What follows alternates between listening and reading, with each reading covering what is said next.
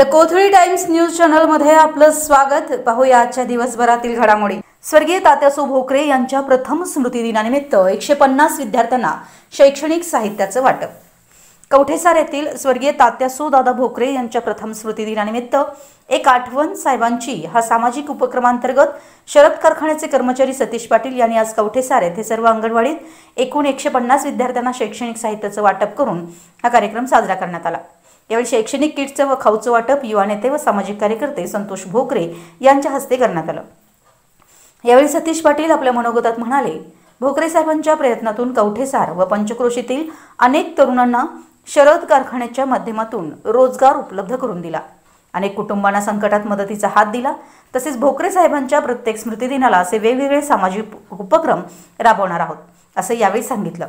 यावेळी शिक्षिका सौ वंदना कांबळे म्हणाल्या आज विद्यार्थ्यांना वाटप करण्यात आलेले शैक्षणिक सर्व साहित्य विद्यार्थ्यांच्या सर्वांगीण विकासाच्या दृष्टिकोनातून महत्त्वपूर्ण व उपयुक्त आहेत.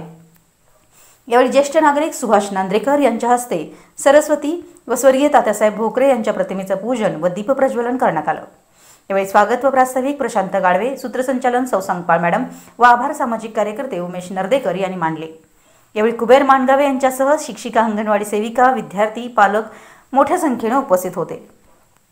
द कोथळी टाइम्स न्यूज चॅनलला सबस्क्राईब करा लाईक करा बेल आयकॉनला क्लिक करा. ताज्या घडामोडीसाठी आमचा नंबर आपल्या ग्रुपमध्ये ॲड करा.